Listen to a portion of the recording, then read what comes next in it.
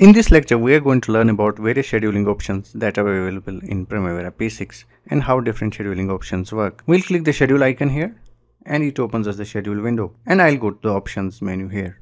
Once I click options, under general tab, I can see three scheduling options, the retained logic option, progress override option and actual dates option. Let's understand them one by one. These various options actually come into play when there is out of sequence progress in a project. Out of sequence progress means when a successor activity progresses before the completion of its predecessor activity. For example, let's say First, let me close this window. Let's say according to our baseline schedule, civil drawings preparation drawing is supposed to finish first and then architectural drawings preparation is supposed to start. In order to understand the out of sequence progress, let's take the example of the activities under engineering WBS. Activity civil drawings preparation is supposed to finish on 26th of May and architectural drawings preparation starts on 29th of May. Let's say that Civil drawings preparation did not start. Instead, the architectural drawings preparation started before civil drawings, although they have a finish to start relationship. So, Let's say that today is 1st of June or 2nd of June and our architectural drawings preparation has started.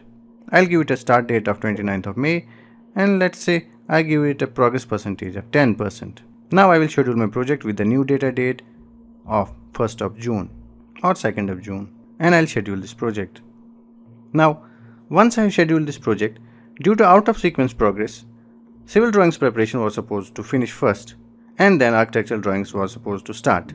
But what happened here is that the successor activity started before its predecessor. This is out of sequence progress.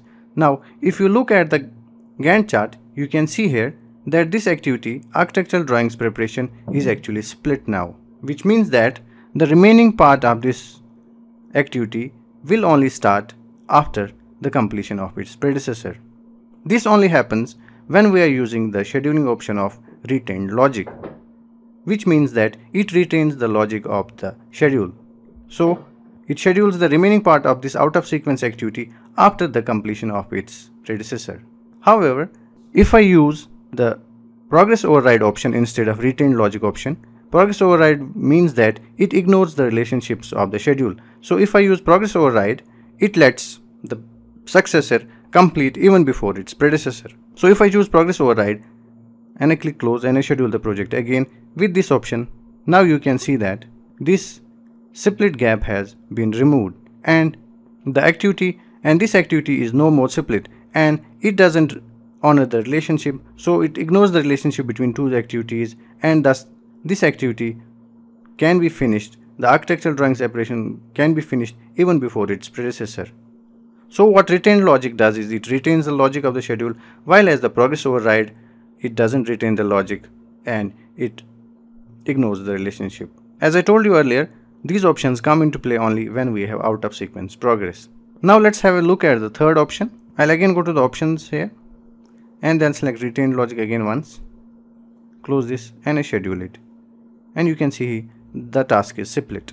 Now if I use the actual dates option, what it does is that it takes the actual date of the out of sequence activity or the successor activity and it calculates the float of this activity on the basis of that actual date. You will understand this by this example. Let's go to the options here again and select actual date, close and schedule.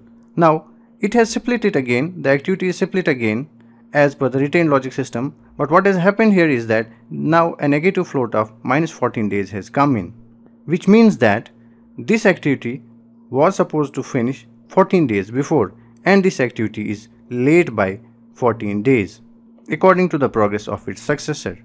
Since the predecessor activity has not started its out of sequence progress, it inserts the float of minus 14 days.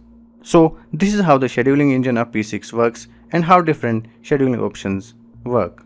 You should try to use retained logic as much as possible in your schedule and use progress override or actual dates with caution.